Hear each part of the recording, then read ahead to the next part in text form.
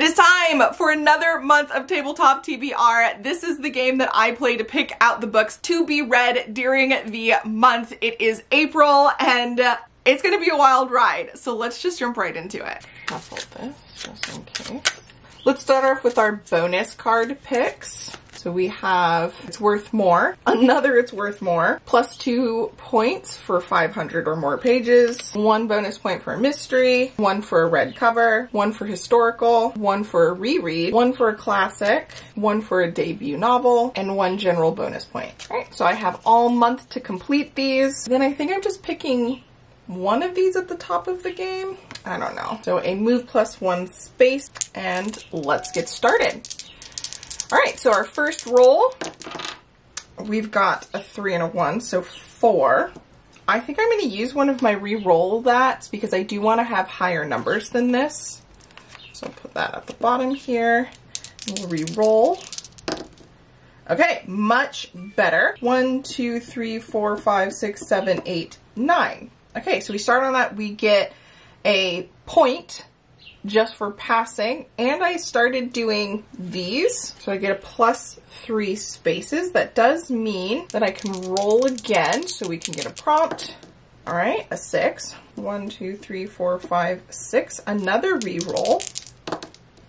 Oh, that's only three. One, two, three. That is a regular prompt. So our first prompt a book with an animal companion or a pet. To be honest, I've been struggling a little bit with this prompt. I decided to go with Dungeon Critters, which is a graphic novel featuring several animal characters that are all going on adventures together. It sounds adorable. It sounds cute. I know I'm stretching it, but they are companions to each other and they are all animals. So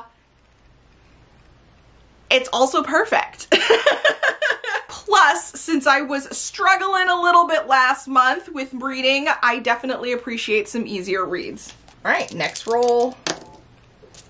Our first double. All right, so we'll be doing 11 total. So that goes up one. So I think that means we have 10 more to go. Oh, I wasn't supposed to re-roll, but I did. So we're gonna keep that. I wasn't supposed to re-roll. That was my bad. So I'm going to use my, my tool here. I'm keeping the extra turn though.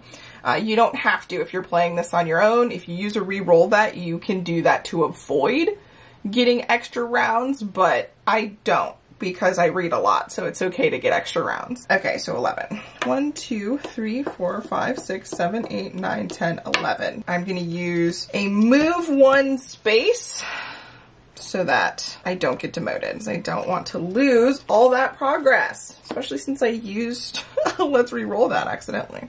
Okay, next prompt. A book from a new to me author. All right, I'm gonna use this one as a chance for me to read something that I've been wanting to read, and that is Half a Soul by Olivia Atwater. I have not read anything from Olivia Atwater before. This is a fantasy historical regency romance. Okay, so our main character was cursed by a fairy, which means that she has no sense of fear or embarrassment, which often leads to a scandal. And since we're in a historical regency setting, that makes perfect sense. And it seems like while she's trying to lay low, somebody finds out the situation that she's in and uses it to their advantage. And it pulls her into a world of fairies and other things. I don't know. I'm excited for it. It sounds right up my alley because I love romance, historical, and fantasy, and it's a little bit of all of that. So yes, please. Next roll. Okay, seven. One, two, three, four, five, six, seven. So that, that means I picked two prompts for this one go. So a TBR jar pick. Woohoo! Okay, TBR jar time. All right, so there is a selection of books in here. I have books that I already own. I have sequels that I need to read. I have books I don't own. I have books I'm excited about. I have books that I'm not super excited about. So let's see what we get. Last month I got to buy two new books thanks to the TBR jar, so not gonna lie, kind of hoping that happens again here is our winner. Oh, another new book. So Island Queen by Vanessa Riley. Nice. I get to buy a new book and as far as I'm aware, I know it's historical. I think it's historical romance featuring a black main character but I'm not 100% sure. So I guess stay tuned for the monthly wrap up to see what the book actually is about. But I'm excited. I've liked stuff from this author before, and hopefully this will be another one that I end up enjoying. Okay, and then next up, a book out of your comfort zone. Ooh, all right. Okay, so for out of my comfort zone, I'm not 100% sure the best direction that I want to go with this, but I decided since I do want to read more classics, but in general, that's not necessarily my vibe, I figured that would work. I recently got a Room of One's Own by Virginia Woolf, and I'm interested to see how I feel about it, if it's my jam, if I'm into it. It's nice and short, so I think that's a, a good classic to work with, and it's written by a woman, so that's also nice. So in this it says, Virginia Woolf imagines that Shakespeare had a sister equal to Shakespeare in talent and equal in genius, but whose legacy is radically different. This imaginary woman never writes a word and dies by her own hand, her genius unexpressed. If only she found the means to create, argues Woolf, she would have reached the same height as her immortal sibling. Um, so it is a classic essay on that topic, which I am interested in checking out. And the message is women must have a steady income and a room of their own in order to have the freedom to create. Oh, that's cute. I'm excited. So like not only is it a classic out of my comfort zone, but it's also an essay out of my comfort zone. So two for two on that one. Next roll, five. That is lower than I want, but I don't have a lot of these, so I'm just going to keep it moving. One, two, three, four, five. Oh only had gotten a six, I could have jumped. Fine, regular prompt. Highest rated on Goodreads. I did have to skip things that were like parts of series that I haven't started or books that I didn't own, etc, etc. But I did come across one that I am pretty excited about, and that is As Long as Lemon Tree grows. And this, as far as I'm aware, is going to be a tearjerker type story. It's literary fiction, I believe. And it says it's burning with the fires of hope and possibility. This debut is a breathtaking story of love and loss set amid the Syrian revolution. So yeah, it's gonna be a heavy hitter, but I've heard really good things about it. So I am excited to give it a shot. Next roll. Ooh, I thought that was going to be a double. Okay, a four. We're getting low rolls now. One, two, three, four a bestseller. So for this one, I'm going with Lessons in Chemistry by Bonnie Garmus. And I actually learned about this through the, I guess it's an Apple TV show, and it looked really good. I watched, I guess, I don't know if it was just the first episode or the first two episodes or something like that, and I was really into it and was like, oh, I want to read the book first before I continue and, you know, do a like comparison thing. Hopefully, I will also get around to watching the TV show once I finish this because I'm I enjoyed it so far and I want to see. I love comparing movies and TV shows to the book, but I usually prefer reading the book first beforehand. So I think this is like a woman in the 50s who is a chemist and obviously there are limitations to being a chemist at that time, but she also really likes cooking. And I guess she gets like a TV show situation offered to her because she's really good at that. And I think there's like romance elements involved in it. And it's just her trying to do the things that she loves and having this TV show kind of be the only way that she can do that since the actual scientific industry is not very accepting of her as a woman in the time. So I'm very interested in seeing how the book goes and then the show. All right, that means what? We have six more to go. Whew, okay. Nine. One, two, three, four, five, six, seven, eight, nine. We jump ahead. Thank you, TBR gods. All right, that's a regular prompt. Shortest book on my TBR. Nice. Okay, so for this one, I'm actually going with a little collection of poetry, War of the Foxes by Richard Siken. And the whole thing is only like 47 pages, so this should be a pretty quick read. I do really like poetry, but I don't really get around to reading it very much, so I am excited to give this a shot. It was a recommendation from an author that I really enjoy, so I do hope that I like it because this is also out of my comfort zone. I know this isn't the comfort zone prompt, but it fits. Uh, since I don't know much about the author or the poetry style, but hopefully it's my jam. Next up, Oh, another double. okay, all right. So that's 10. This goes up again. That's fine. We will be getting another board point. Plus I get to pull. Actually, let's do that first. Hopefully I can get in a, a no. I was looking for a re-roll that, but that's okay. That's okay. All right, so one, two, three, four, five, six, seven, eight, nine, ten. Regular prompt. We're good, we're good, we're good. Ooh, okay. Most recently acquired. Okay, so most recently acquired, of course, is a book subscription box, and that is Bride by Ali Hazelwood, which is her would be like debut fantasy since she's just really done like contemporary romance and now this is fantasy romance.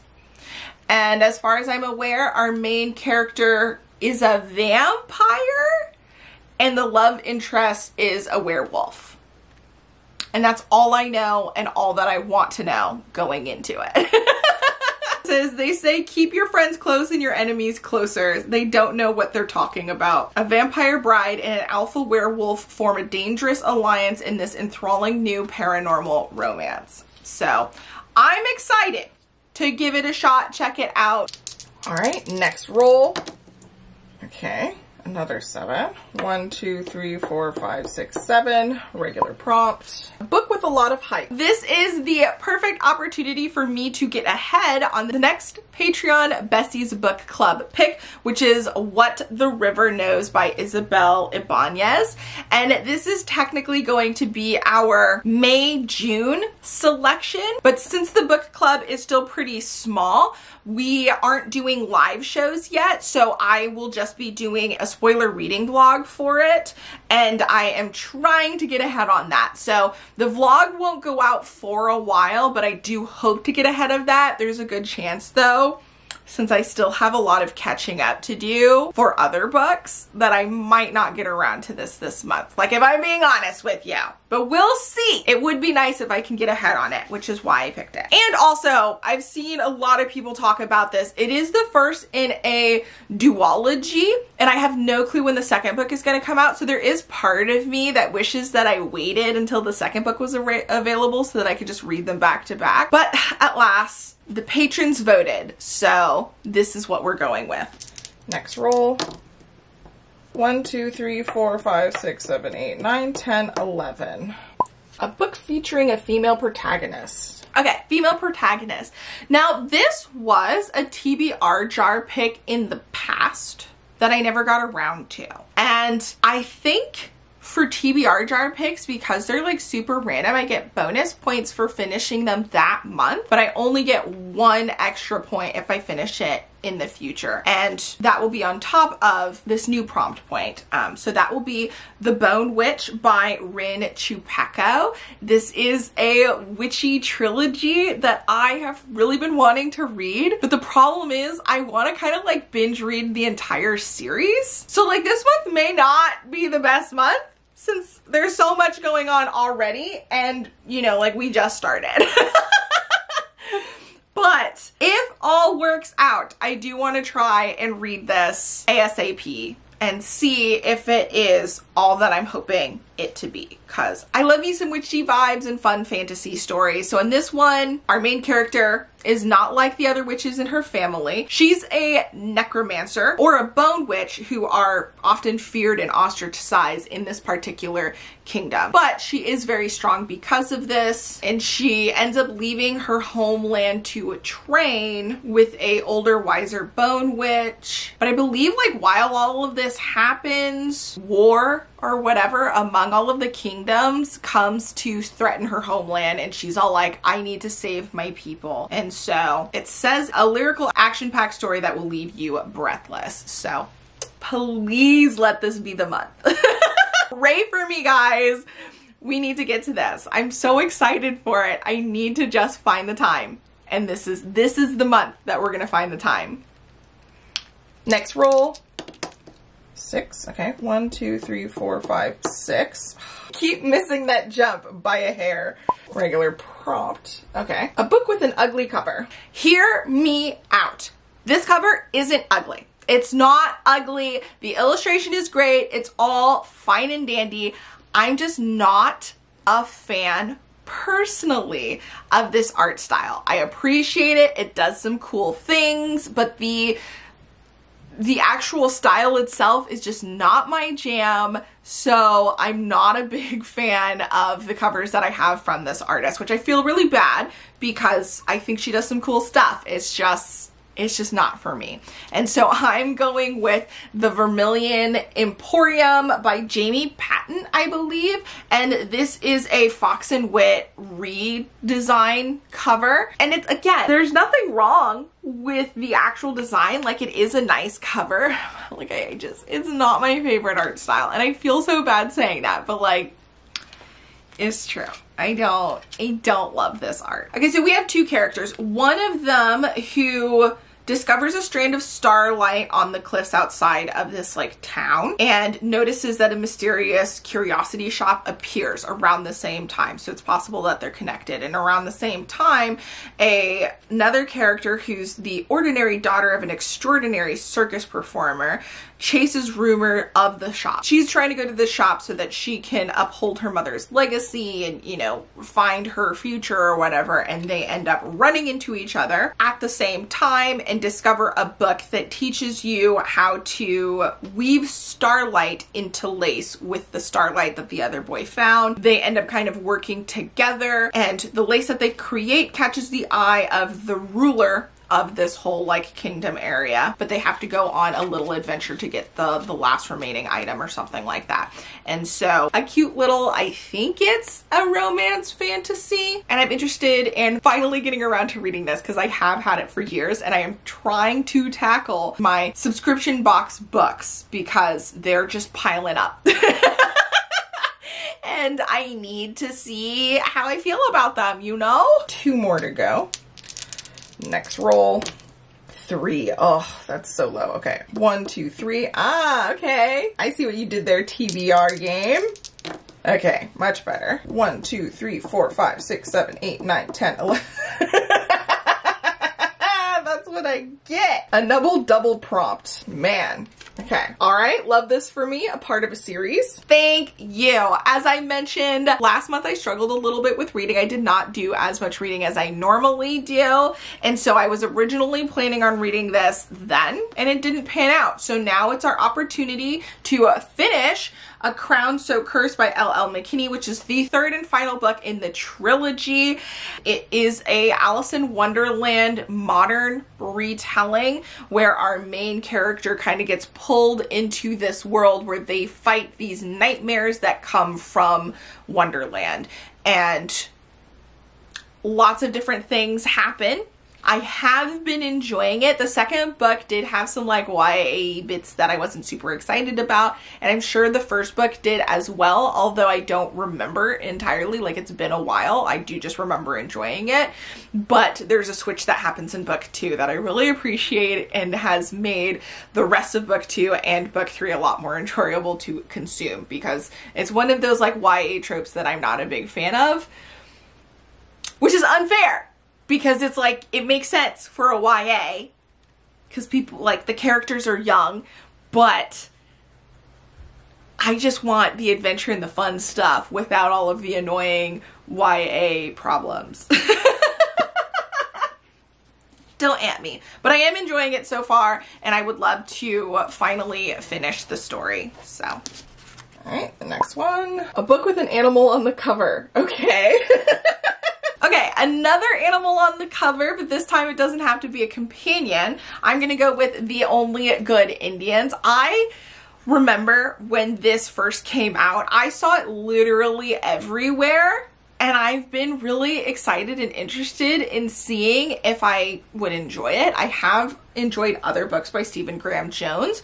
And so I feel like this could be right up my alley, but I know it's not everybody's cup of tea. So I don't know. We'll have to wait and see, find out how I feel. I do want to go in this pretty blind. So all I'll say is that this is a horror novel and it says that it is full of humor and bone chilling images. Hopefully I find it spooky in all the right ways. Okay, possibly our last roll. Let's see. All right, it is. All right, six. One, two, three, four, five, six. Oh, wait. I guess we still have a chance of it not. Okay, so that's three points total and another one of these. We're getting a lot of these move spaces. Maybe I should use that. Um, okay, so we roll again so we can find a prompt.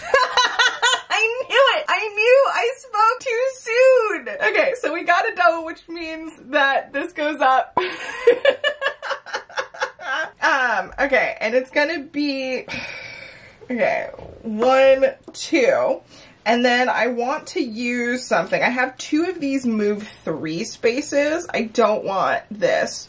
So I'll do the three spaces. So one, two, three. That's a regular prompt. I can get rid of that. Oh, maybe we should also, to set me up real sweet. Oh wait, no, because I have to play one more role. No, no, no. Okay, yeah. So we'll do this. Oh, nice. A gifted book. I actually have one remaining, so we can do this. All right, I am so glad that I'm able to actually use this prompt. I am gonna have to take it out of the rotation because this is the only one that I have on hand that I haven't read that isn't set for something else, and that is Children of Blood and Bone. I actually ended up getting this as, I think like a birthday gift several years ago from my family, but technically I had gotten the Kindle version, and so I haven't really prioritized reading it until I recently got the sprayed edges editions of the paperback. This one is about a character whose world used to be filled with magic, but that is no longer the case. So for the most part, they removed magic,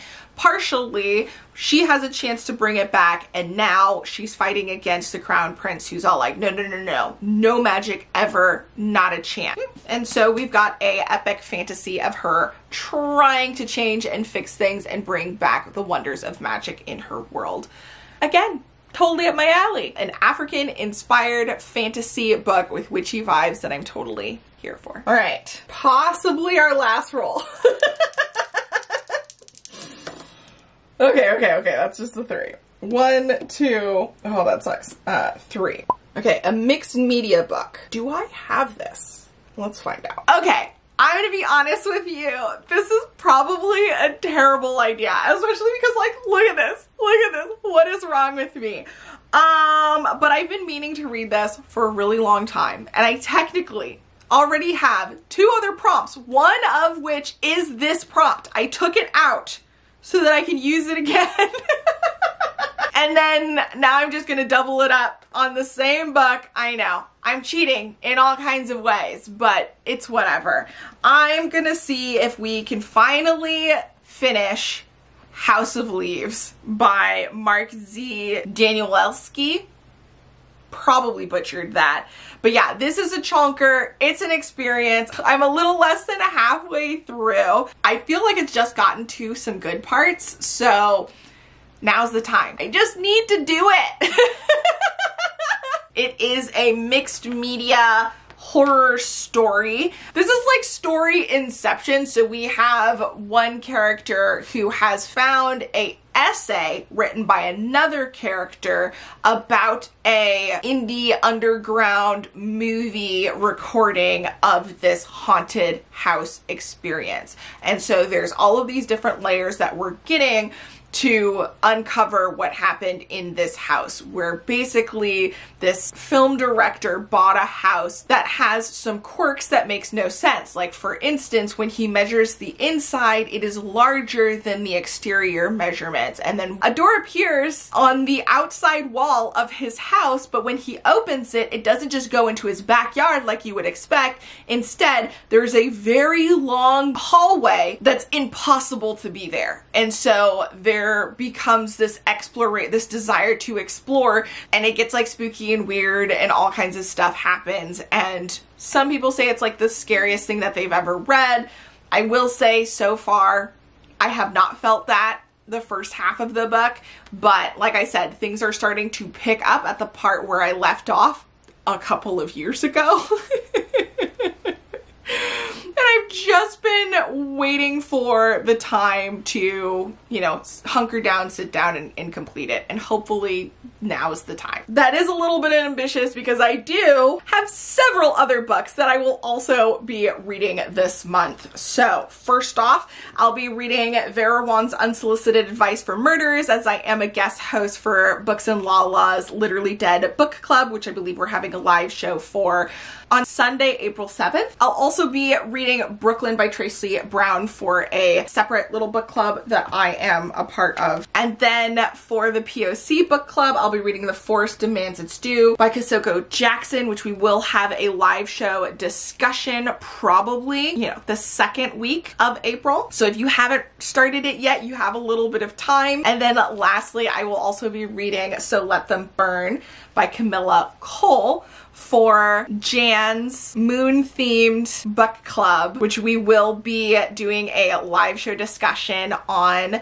the full moon. So that's pretty exciting and I'm pretty excited about this. So lots going on. I do also have my bonus points that I will hopefully be able to apply to some of these along with whatever else I end up reading throughout the month.